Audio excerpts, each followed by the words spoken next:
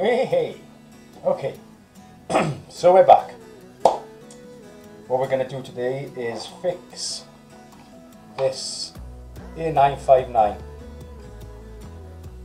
I've already put the A979 wheels on it.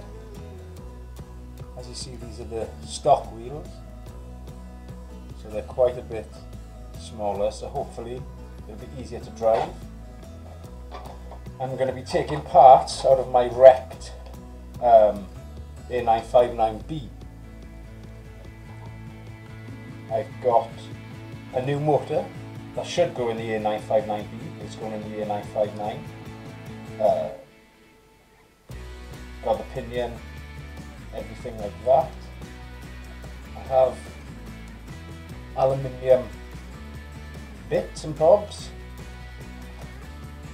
that I can put in this car. But first of all, I just want to get the thing running. It's time to have a bit of fun. Do you know what I mean? So um, let's speed this thing up and see if I can get these cars fixed.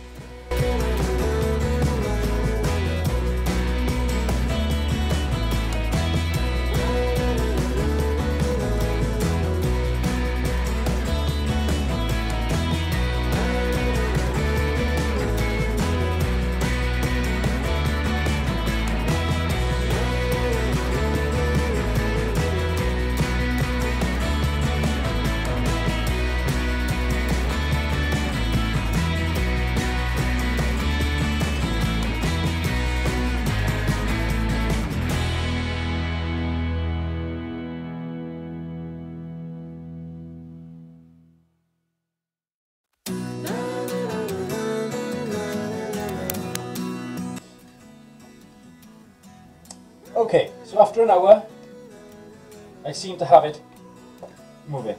Well, let's turn it on. Sounds a bit rough. But we, um, yeah. You take it out for a burn, see what's going on. I changed a lot of uh, A959B parts to stick in here, like the gears and the motor. And I didn't get to use my new motor, but the old motor still worked.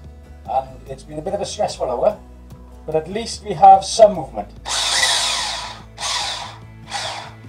Doesn't sound right at all.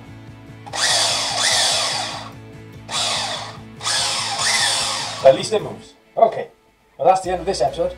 See you again, take care, bye bye.